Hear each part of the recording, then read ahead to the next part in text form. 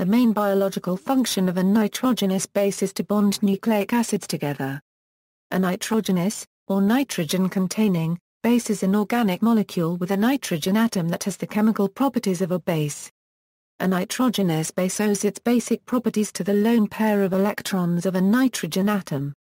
Nitrogenous bases are typically classified as the derivatives of two parent compounds, pyrimidine and purine. They are nonpolar and due to their aromaticity, planar. Both pyrimidines and purines resemble pyridine and are thus weak bases and relatively unreactive towards electrophilic aromatic substitution.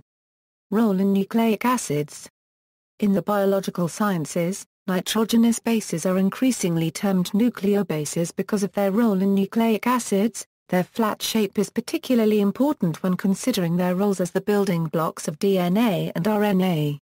A set of five nitrogenous bases is used in the construction of nucleotides, which in turn build up the nucleic acids like DNA and RNA. These nitrogenous bases are adenine, uracil, guanine, thymine, and cytosine.